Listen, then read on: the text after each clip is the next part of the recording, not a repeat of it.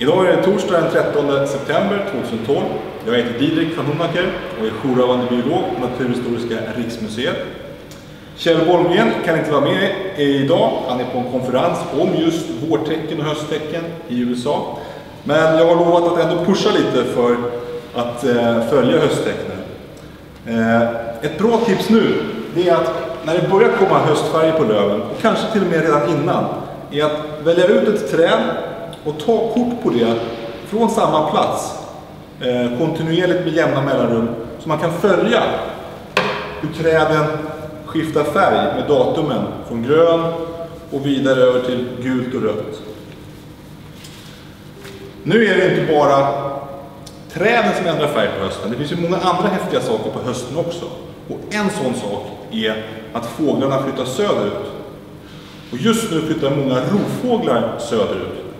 Och rovfåglarna, här har vi kungsörn och glada till exempel. De flyttar så gott de kan genom att bara kretsa.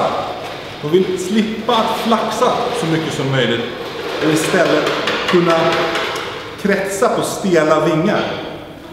Det gör de genom att utnyttja den termik som bildas när solen skiner på marken, värmer upp luften så att varm luft stiger. Det kallas termik. Och genom att utnyttja de här uppåtvindarna kan de ta sig fram utan att göra av med mycket energi på att flaxa. Det här gör att rovfåglarna undviker att flyga över vatten. För över vatten bildas inte de här uppåtvindarna.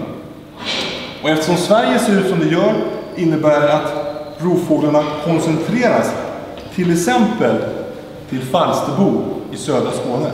Jag ska själv åka ner dit ikväll faktiskt och eh, tillbringa helgen med att leta och spana efter rovfåglar eh, som här inte kan komma någon vart längre utan de måste flyga över havet för att ta sig till Danmark.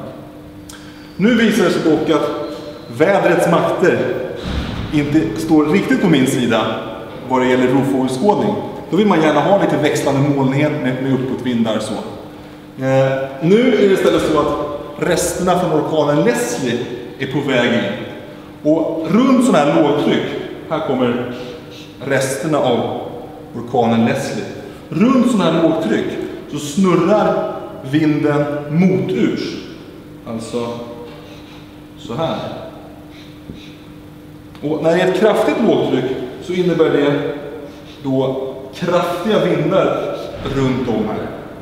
Om lågtrycket då passerar upp över Norge så innebär det att söder om lågtrycket mot den svenska västkusten kommer det blåsa kraftig västvind. Det gör att det kommer blåsa in en del spännande havsfåglar. Här i utställningen finns det till exempel stormfågel och, havssula som vid sådana här västliga vindar då trycks in mot kusten så att man kan se dem. Annars är det svårt att se dem, annars håller de till ute till havs. Så. Jag kan rekommendera alltså att nu de närmaste dagarna kanske, om man är på västkusten, åk ut i havet och leta efter havsfågel. Framåt lördag söndag så kan det nog bli lite bättre span på rovfågel, till exempel vid Falsterbo. Och välj ett träd och fota hur den ändrar färg från grönt till rött eller gult. Tack så mycket!